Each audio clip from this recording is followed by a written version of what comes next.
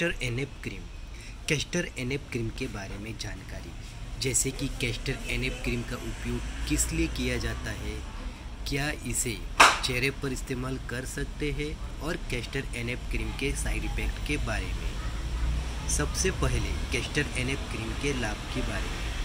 Castor एनेप cream का इस्तेमाल fungal और बैक्टीरियल स्किन इन्फेक्शन के इलाज में किया जाता है।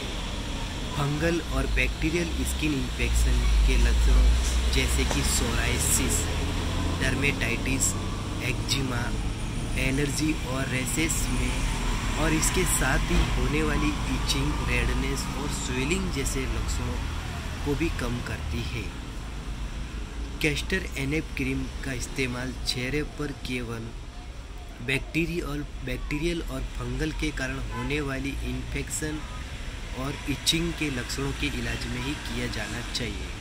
कैस्टर एनेप क्रीम केवल बाहरी स्किन पर इस्तेमाल के लिए है।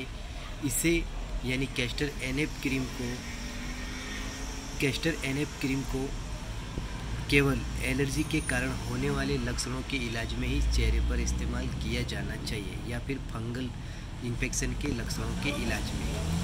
कैस्टर एनेप क्रीम केवल बाहरी स्किन पर इस्तेमाल के लिए है और कैस्टर एनेप क्रीम के सबसे सामान्य साइड इफ़ेक्ट जैसे कि आवेदन वाली जगह पर, यानी जिस जगह पर लगाते हैं, वहाँ पर जलन का होना, वहाँ की स्किन का सूख जाना या सूखापन होना, यानी ड्राइनेस और स्किन का लाल पड़ जाना, यानी रेडनेस जैसे लक्षण आमतौर पर होते हैं।